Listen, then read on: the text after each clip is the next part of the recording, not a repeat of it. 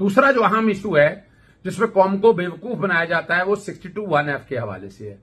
और कहा जा रहा है कि इमरान खान का जो बयानी है जूठा बयानी अल्फी है, वो सिक्सटी टू वन एफ़ के जिम्मे में आता है। आहमकों की जन्नत में रहते हैं। एक तो पहली बात है, इलेक्शन कमीशन अदालत नहीं है। सिक्सटी टू वन एफ़ का इतलाक होना है, जब आप पार्लियामेंटेरियन है।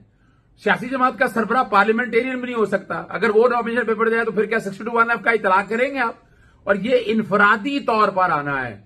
इमरान खान साहब ने अपने कागजात नामजदगी में जो चीज़ें दाखिल करी स्क्रूटनी होगी वह सारी, और जो पार्टी की हैसियत से कोई चीज़ भी या पार्टी लीडर की हैसियत से नॉमिनेशन पेपर का कोई ताल्लुक नहीं है। आपने अपनी जायदाद, कर्जे असासे वगैरह वो डिक्लेयर करने हैं। नवाज़ शरीफ के केस में क्या है? नवाज़ शरीफ के केस में नवाज़ शरीफ ने दुबई में अकामा लिया हुआ था, और अकामा लिया था बेटे की कंपनी में मुलाजमत का।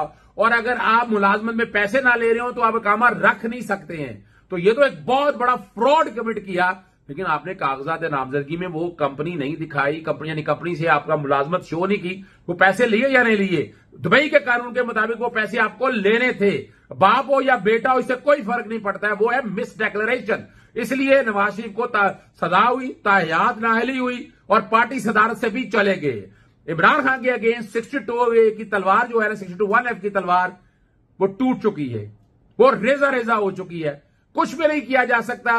गालिब दिल के बहलाने को ख्याल तो अच्छा है, लेकिन बयानिया जो है सियासी जमातों का बुरी तरह पिट चुका है। और आने वाले दौर में सियासी जमातों को बहुत मुश्किल हालात का सामना करना पड़ेगा। उनके उनके अकाउंटों के अंदर रिश्वत का पैसा गया है। और जहाँ तक ये बात है, इमरान खान ने जो चीज़ रखी, सारी कुछ कौम के सामने रख दी है तो ये मैं चैलेंज कर रहा हूँ। आ जाए कोई भी, इस पर आ जाए, डिबेट कर ले, सिक्सटी टू वन एफ़ का इमरान खान की इन ट्रांजेक्शन पर इतलाक दूर दूर तक नहीं होता है।